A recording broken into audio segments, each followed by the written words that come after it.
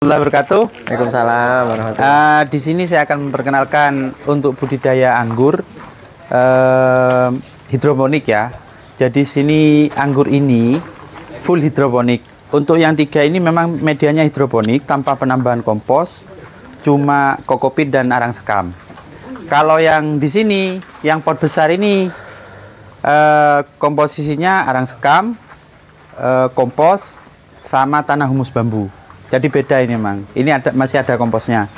Organik karena ya? Organik karena butuh tenaga lebih ya untuk naik ke atas ini. Memang tujuannya kan nanti untuk pembuahan yang banyak lah. Kalau ini memang istilahnya kalau Mas Tony menyebutnya anggur bonsai.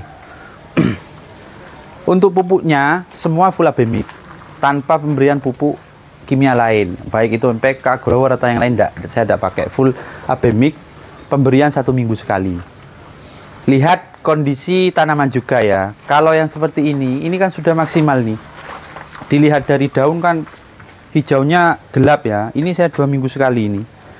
Karena memang mungkin beda varian, beda reaksi terhadap pupuk Karakternya masing-masing. masing-masing. Ini coba saya samakan satu minggu sekali ada indikasi OD overdosis. Jadi daun mengeriting, daun mengeriting. Jadi saya terapkan dua minggu sekali. Untuk ppm-nya itu 1.300 ini atau eh, 10 mili untuk 1 liter. Kalau saya sekali buat 100 mili A, 100 mili B untuk 10 liter air. Baru nanti ketemu ppm 1.300. Alhamdulillah pertumbuhannya bagus dan tidak ada masalah. Dan juga abemiknya dispray ya, dosis 50% dari dosis kocor. Jadi nanti biasanya saya ngambil setengah liter, saya tambah air, air lagi setengah liter. Baru dispray. Perawatan tiap minggu, penyemprotan insek sama fungi. Tetap tiap minggu, rutin ini. Berapa hari sekali mas Satu minggu sekali, Mas. Satu minggu sekali. Ini sudah cukup. Spray ya atas bawah. Jadi setelah dikocor, saya ngambil itu sekitar setengah liter. Saya tambah air lagi setengah liter. Jadi nurunkan dosis ya baru saya spray. Spray. Bisa lebih bagus ya untuk hasilnya. Terus eh, sesekali ya saya coba kasih ini apa? Eh, PSB. Sesekali saya kasih PSB sama magnesium sulfat. Kalau ada defisiensi unsur hara seperti ini, ini kan kuning ya, tapi jari-jarinya masih hijau. Saya biasanya spray sama magnesium sulfat, dosis 2 gram per liter. Sudah cukup. Abemik bisa dispray mas Bisa mas, dosisnya diturunkan saja. Bagus itu malah. Itu kalau dispray kan unsur hara semua lengkap ya mas. Daripada kita cuma nyepray seperti MAC-S atau SOP, MAP itu kan. Cukup pakai Abemik sudah cukup. Kecuali ada kasus-kasus tertentu. Pakai Abemik itu kan eh, Abemik eh, di bagian nomor contoh seperti magnesium sulfatnya kurang maka kita berikan secara manual mas. Abemiknya buah apa daun? umum mas ini untuk anggur memang untuk generatif dan vegetatif untuk fase vegetatif mainnya itu mas 1300 ppm kalau sudah masuk ke generatif saya naikkan jadi 1600 sampai 2000 ppm atau 150 mili untuk 10 liter air. Gitu mas. Mungkin bisa dijelaskan mas Hmm. generatif dan apa? vegetatif ya. Vegetatif dan Veg- eh, vegetatif itu masa pertumbuhan mas. Masa pertumbuhan kalau generatif itu menuju ke pembungaan atau pembuahan jadi kita eh, kita inginnya itu membuahkan maka kita harus naikkan untuk eh, ppm-nya begitu mas Hari mungkin teman-teman ada Ada pertanyaan, umur berapa pertanyaan, ini? umur berapa atau Target dibuahkan, kok iso wis berbuah. Umur sudah ada tanggalnya ya. Saya tanam ini hampir rata-rata sama ya. Mulai bulan 8 lah, bulan 8 bulan 9 saya Nih, tanam. ini varian, ini tanggal Satu. penanaman. Transplanting. Jadi kurang lebih ini 3 sampai 4 bulan lah. saya nanam ini. Di mana? Gurung mas? Kasih. Nah, anggur saya. Ini varian macam-macam ini. Ini varian yang Jepang. Ini memang terkenal lama ya untuk buahnya, tapi buahnya bagus mas. Ya? Umurnya. Empat bulan mas. Empat bulan. Ada itu tanggal tanamnya sudah ada. Empat bulan. Ini varian Jupiter memang terkenal paling genjah, paling cepat berbuah. Kalau untuk hobi ya, kalau untuk cuma dibuat pot, ini rekom. Cepat mas. Tanpa ada apa itu treatment tertentu, sampean potes saja punya mesti bawa buah dia. Ini varian umum, teman-teman. Jupiter. Untuk pemula wajib punya ini. Mudah lah. ya. Paling, Paling mudah, mas. Saya Perawatannya terus ini. Dia paling kebal terhadap penyakit. senggol bunting nih. Hmm. Bahasanya senggol bunting. Jupiter. Kurang lebih empat bulan lah mas. Pokok usia tanam itu mas, mulai bulan 9 mas. 9, 10, 11, 12 ya empat bulan. Empat bulan tanam. Boleh dibawa pulang mana mas? Belum ada mas, sayangnya itu ini ini belum ada yang siap diicip-icip ya. Anu ya kok dari rong langkas ya. Ah, harusnya seperti itu, harusnya dua bulan lagi. Ya. Mungkin anu dijelaskan ini varian apa? Ini varian apa, Harol, apa? ini anggur hijau, hijau. Ada eh, buahnya itu kalau dimakan ada aroma apel.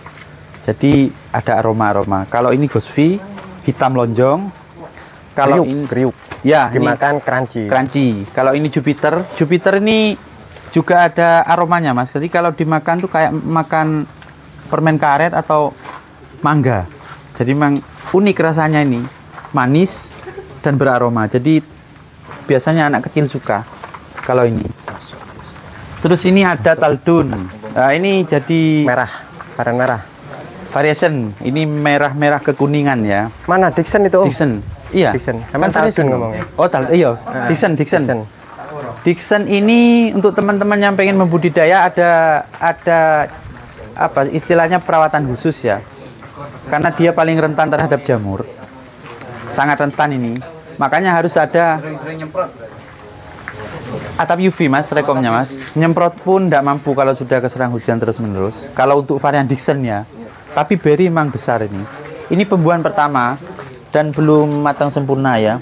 Ini udah dipetikin. Dibandingkan sama yang pinggir jalan Om, buahnya Om. Kalau sama Ini Red Globe ya, Red Globe ya.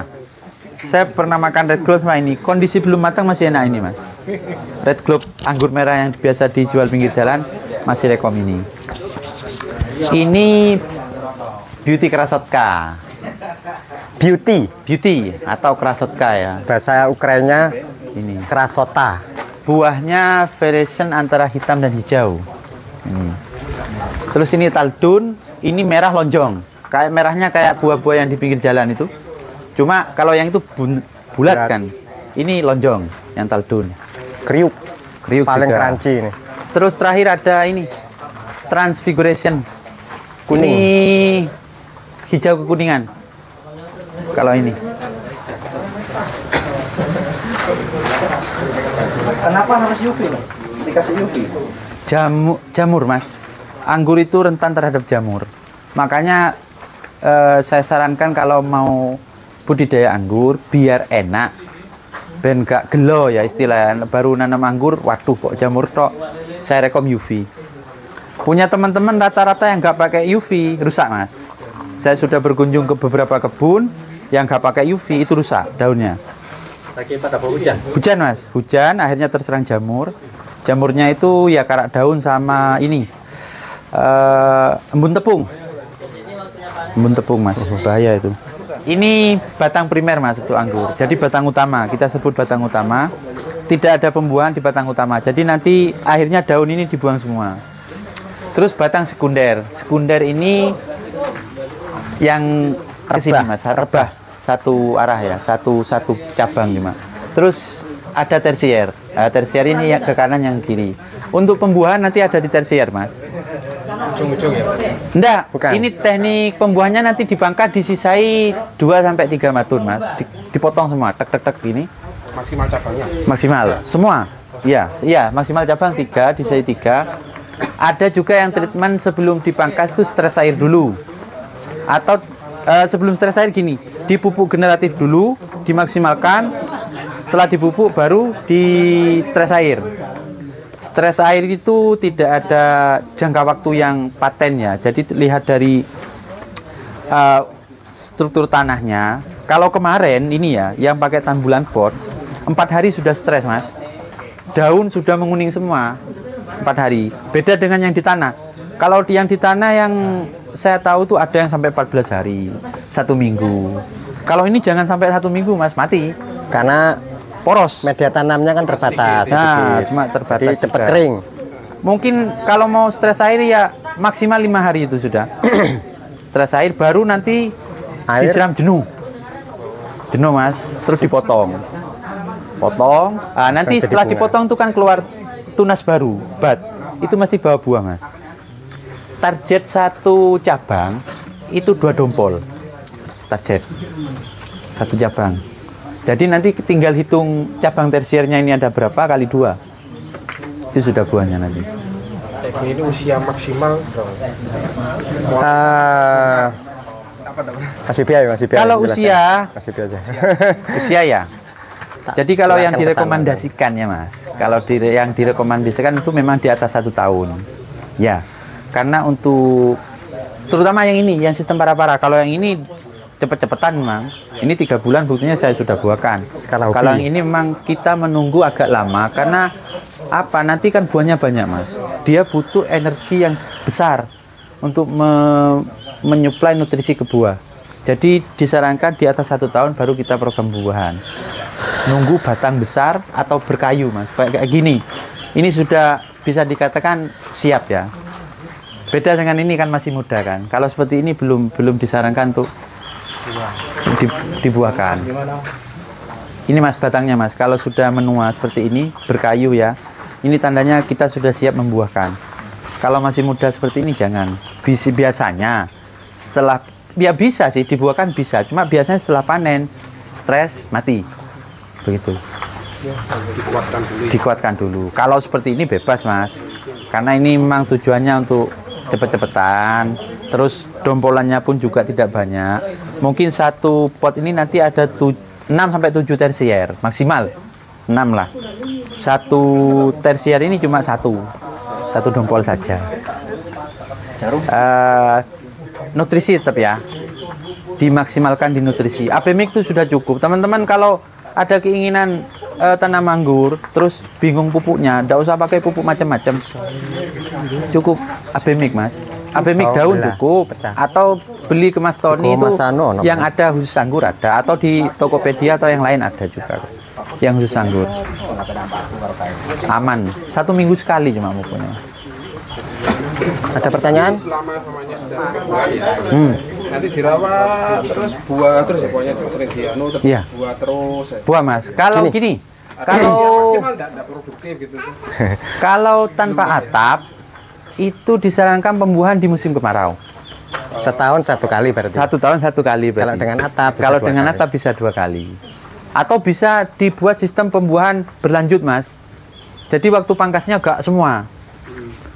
Jadi nanti eh, pengen yang buah di ini eh, tersier yang ini satu dua tiga kita pangkas. Ini kan berbuah nanti. Dapat selang berapa bulan kita potong lagi. Nanti ini berbuah. Jadi pembuahannya berlanjut. Yang penting ada pakai atap UV ya mas. Kalau udah pakai atap UV tidak bisa. Berbuah pun nanti rontok masih. Rontok, pecah, atau busuk itu sudah pasti. Ini kuning kenapa, Mas? Yang mana? Stres air. Tua ini sudah mas. Ini nanti jatuh sendiri. Kayak gini nih. Nah, ini. Tua. Tidak masalah ya? Tidak masalah. Ini sebenarnya belum waktunya untuk menguning mas. Cuma karena kemarin efek eh, ditinggal ke Bali itu empat hari tidak disiram. Akhirnya Jadinya tua stres air. sebelum waktunya. untuk teman-teman yang pengen membudidaya anggur, eh, lak, monggo bisa dilakukan dari sekarang karena memang pembuahannya mudah ya. Ya, hitung-hitung kita untuk menghilangkan stres ya hiburan lah karena sangat sangat asik jadi pengangguran tuh asik mas. Hmm.